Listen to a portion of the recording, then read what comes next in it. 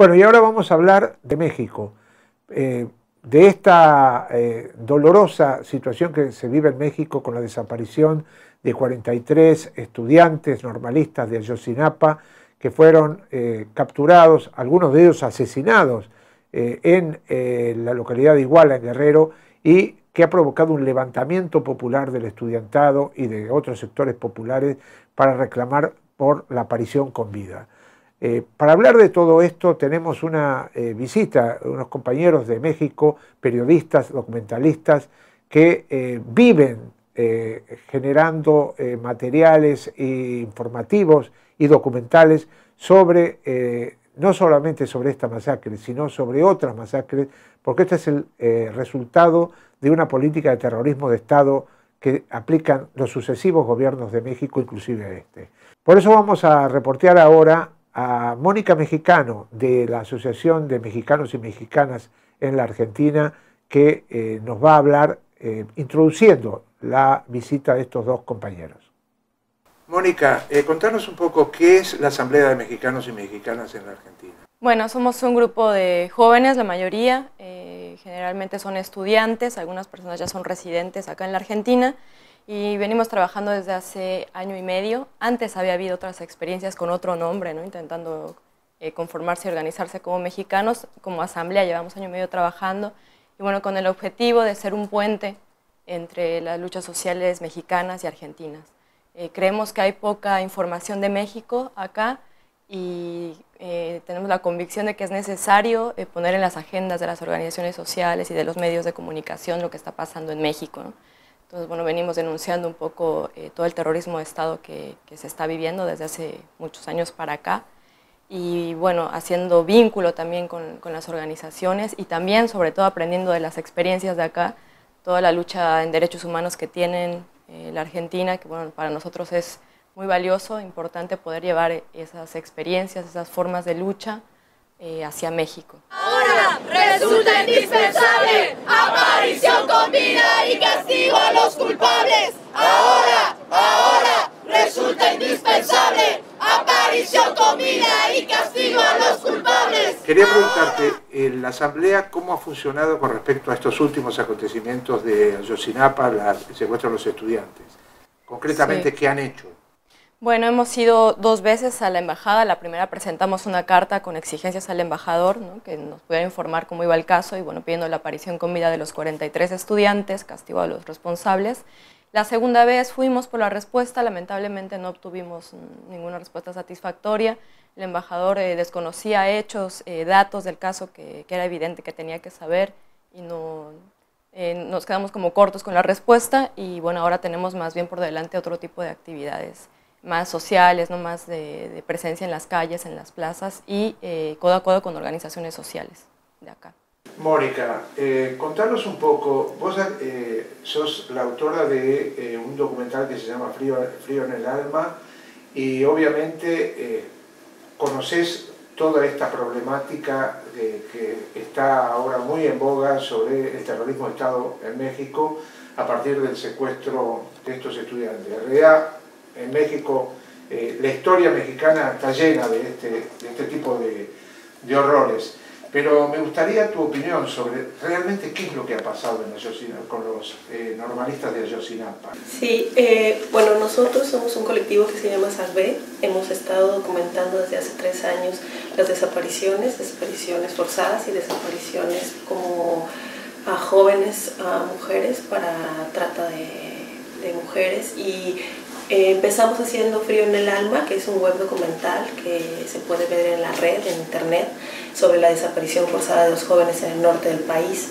Esto fue en el 2008 y 2010, ellos desaparecieron en, en esas fechas y básicamente todo se desencadena desde que el expresidente Felipe Calderón empieza a hacer una declara una guerra ¿no? para empezar a militarizar el país y poder tener un control con el ejército, en el caso de Chihuahua se puede especificar claramente cómo llegó el ejército y después la Policía Federal para hacer una intimidación a la población y bueno, eso desencadenó en muchísimas eh, violaciones a derechos humanos a la comunidad, sobre todo los jóvenes.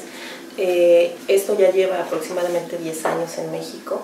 El estado de Guerrero tiene una historia de lucha constante, con, sobre todo en la, en la clase de los normalistas, la escuela de Yotzinapan. Son muchachos que estaban deseando ser maestros rurales, o sea, gente que se dedica a educar a la comunidad, eh, de muy bajos recursos esta escuela ha sufrido varias intimidaciones desde hace mucho tiempo, ¿no? es histórica, ¿no? allí estuvo los Cabañas, allí estuvo Genaro Vázquez, eh, la comunidad de Guerrero, específicamente Ayutla de los Libres, se levantó hace dos años en, en eh, en, autodefensa, en policía comunitaria. Entonces llevan resistiendo durante mucho tiempo, eh, tratando de luchar en contra de tanto la represión de Estado como del narcotráfico, crimen organizado. Específicamente en Ayotzinapa lo que pasa con los 43 muchachos es que se está tratando de culpar o incriminar, uno, primero a ellos con la guerrilla y a, las, a la comunidad con el crimen organizado para esto, esto es un pretexto que estamos viendo por medio del Estado mexicano para poder adentrar y llegar a irrumpir con el ejército específicamente y, e intimidar a las organizaciones y el tejido social, sobre todo las organizaciones sociales que ya llevan un tiempo eh, haciendo lucha constante para, no, para defender el territorio. Específicamente lo que pasa en México, en muchos de los estados, no nada más en Guerrero, pero en Guerrero ha sido muy eh, emblemático. El problema es que se está tratando de desplazar a la gente.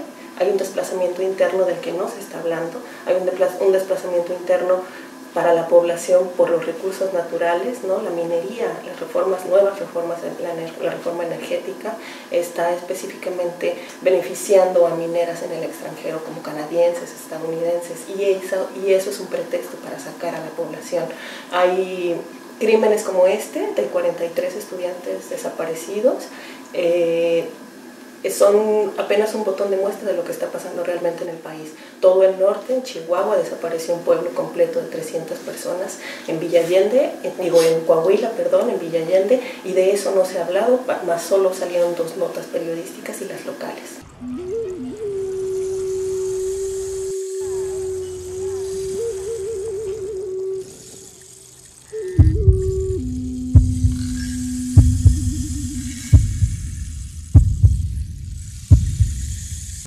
Concretamente, eh, entiendo todo lo demás, ¿verdad? Que entra el ejército, esto está claro.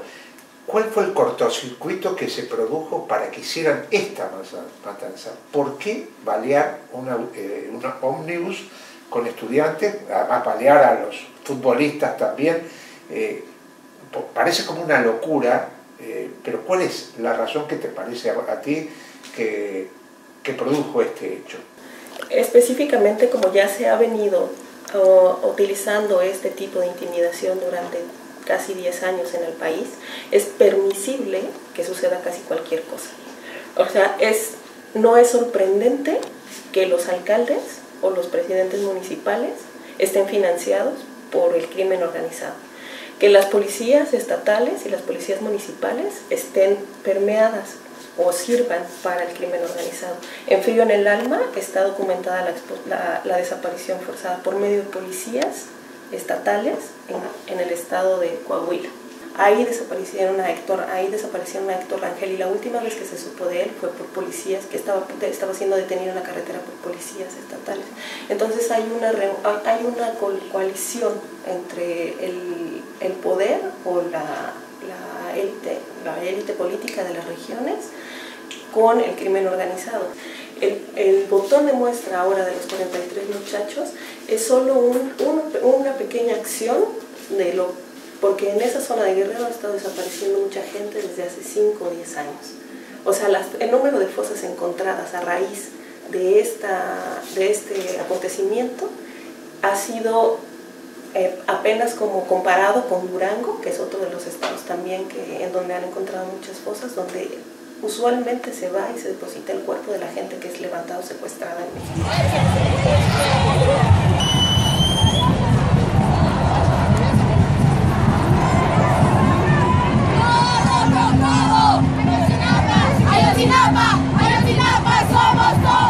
Iván, eh, contanos un poquito eh, cómo ha surgido todo este proyecto. Recién hablábamos con Mónica pero eh, este es un proyecto conjunto para denunciar, obviamente, todas estas atrocidades que vienen ocurriendo en México, no solamente desde ahora, sino desde prácticamente la historia mexicana. Pues mira, Geografía del Dolor es un documental que nació a partir de un proyecto fotográfico de Mónica, que ya platicó un poco esta, este proyecto de las postales y la fotografía. Después empezamos a ver que, que las postales y la fotografía nos sobrepasaba. O sea, era demasiado lo que nos estaban contando, lo que estábamos escuchando, lo que nos estaban diciendo estas personas que nos daban su testimonio, que decidimos hacer algo y, bueno, grabarlo, ¿no? Que fue como el otro medio que nosotros tenemos. Y empezar a hacer un, un trabajo documental, ya como más formal. De ahí, pues, eh, como dices, esta es una situación que no lleva o sea que no es reciente, lleva muchísimos años pasando. Eh, hay una situación de, de, desaparecidos, como decíamos, 26 mil desaparecidos oficialmente, ¿no?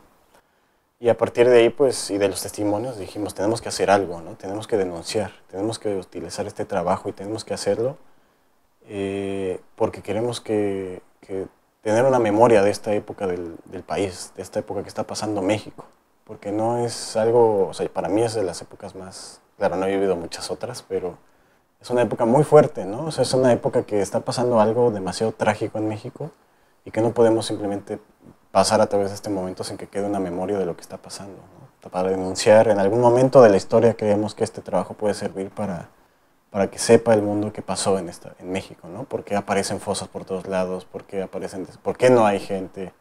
Eh, eh, en, sus casas, por qué está desapareciendo, por qué se está quedando la gente sin, sin esperanzas. ¿no? Hay una cosa que en este caso eh, quedó clarísimo, no importa qué partido, o sea, una vez es el PRI, otra vez es el PRD, eh, hay una complicidad partidaria, o sea, la complicidad de la política mexicana con, el, con los narcos, con la violencia, con el terrorismo de Estado, es, es todo uno. Sí, como dices, no importa el color, no importa el partido, no importa si sea de izquierda o derecha políticamente hablando en México. Más bien yo creo que hay algo que, que lo que pasa es que si algún político cae, se va a romper esa cadena perfecta de impunidad que existe en México. Entonces, ninguno quiere caer, porque sabe que se le va a caer todo, ¿no? Entonces, sea PRI, PAN, PRD, lo que, el partido que sea en este país, bueno, en México, perdón, eh, pues simplemente no va a pasar nada, ¿no? Son intocables la clase política. Por más que estén coludidos, por más que haya evidencia de que estén eh, metidos con narco, de que tengan nexos incluso familiares con jefes de plaza, con líderes de bandas, no caen, ¿no? Por último, te quería preguntar lo mismo que le, le dije a Mónica, ¿qué percepción tenés de esto que está ocurriendo ahora a nivel de la continuidad? O sea, ¿Te imaginás un movimiento estudiantil eh, con continuidad hasta que se haga justicia? ¿O esto es una ola que crece y después otra vez tendremos que esperar a la próxima masacre para pensar en México a nivel internacional? Pues mira, yo honestamente creo que sí soy muy pesimista. Eh, creo que ha pasado tantas masacres y tantas cosas en este país ni siquiera demasiado lejos, ¿no? Dos años atrás, tres años atrás, y no se ha hecho nada.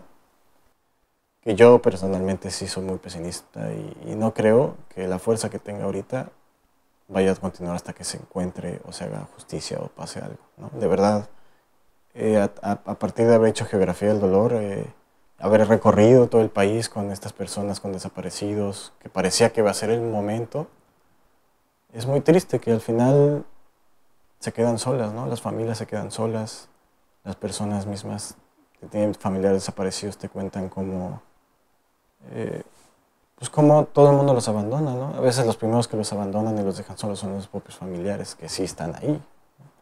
Entonces yo, desgraciadamente, sí soy muy pesimista y no creo que en México siga esto hasta que se termine, ¿no? No creo que toda la gente que esté saliendo a las calles ahorita siga, porque se ha visto a lo largo de mucho tiempo que, no es así. Que a pesar de que desaparezcan 300 personas de un pueblo, a pesar de que aparezcan 72 migrantes desaparecidos, a pesar de que aparezcan 49 torsos de personas que no se sabe quiénes son, a pesar de todo eso, no pasa nada. Es, es para mí es decir, no, pues yo creo que la gente que ha luchado desde el principio es la que va a seguir y el montón de siempre, que tal vez se unió en esta ocasión y que es muy bueno, ¿no? No va a estar hasta el final. 43 compañeros desaparecidos. Presentes. 43 compañeros desaparecidos. Presentes. Ahora y siempre.